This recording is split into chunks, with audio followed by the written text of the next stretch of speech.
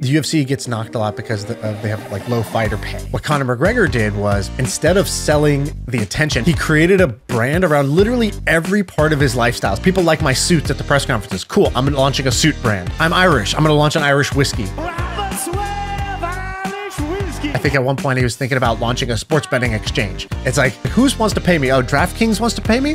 Hmm, maybe instead of DraftKings, it's McGregor Kings now. The guy is literally just selling like every piece of his lifestyle as a independent brand. Guy's gonna become a billionaire and fighting is gonna be the lowest part of his income stream is my guess.